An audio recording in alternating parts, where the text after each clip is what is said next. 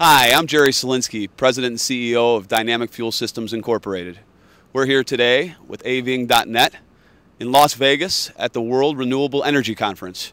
In front of you sits our patent pending Jetstar product. It is a product that creates hydrogen on demand.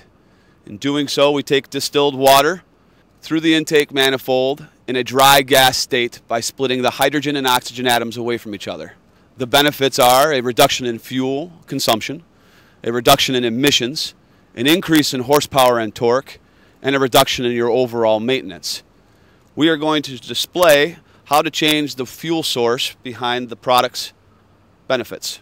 Our two liter bottle, which David Sikkema, a consultant for dynamic fuels in the state of California, is changing at the moment, takes a two liter bottle and inserts that by screwing it into the Jetstar, in which will operate the vehicle between 2,500 and 4,000 miles in use. We have now moved to the inside of the cab of the passenger vehicle, where we sit once again with David Sikkema to instruct how our in-cab monitor works for the driver. Yeah, while we're driving, we can check the operation of the system by looking at the display screen, seeing that the Jetstar is indeed running, and if there is an error code, it tells us error code and what to do to fix it. Hi, we've now moved to the front of the passenger vehicle that we've installed the Jetstar on.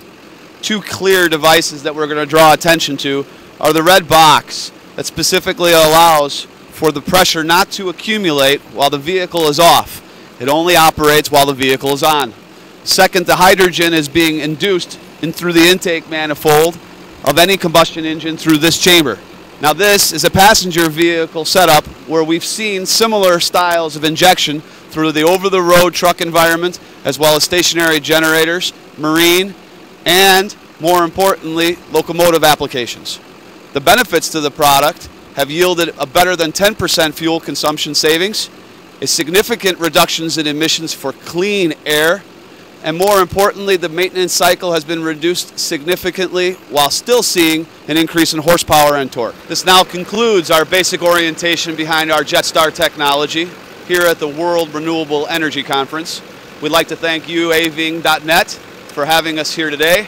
And more importantly, we'd welcome an opportunity to bring our Jetstar technology to you tomorrow.